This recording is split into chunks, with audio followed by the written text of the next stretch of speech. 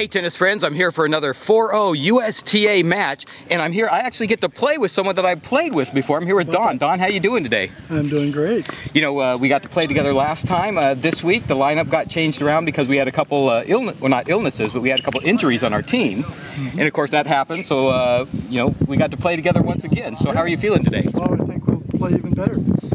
well, I hope we do. You know, uh, I, I, talk about uh, communication and stuff, and last time we talked a lot, so hopefully we'll uh, do kind of the same thing and uh, get things done today. Yeah. All right, well, let's see how we do. Okay.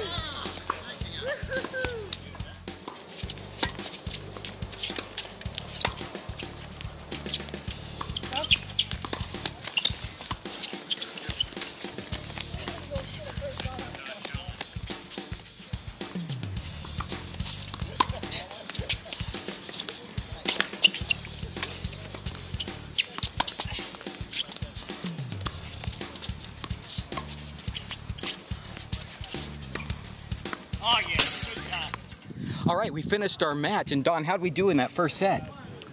We played really tough. Uh, even um, even with my failure to hold serve, we uh, we forced it. We were four even, four all even, and and then we um, then we lost my serve again. So. Uh, well, that was tough. Yeah, well, that's all right. You know, it's a team effort. You know, we're both out there trying to get it done, uh, making our share of errors back and forth, and, and and they were as well. But you know, something that I did notice is that you know uh, you know, we did our own talking, but they did a lot more talking amongst each other than we did. Did you notice that? Uh, there was a lot of it. yeah, they were talking a lot. I don't know what they were saying or anything. Sometimes it would work, sometimes it wouldn't. But uh, then we went to the second set, and how did we do in that second set? I think we played better and scored worse. were you able to do that?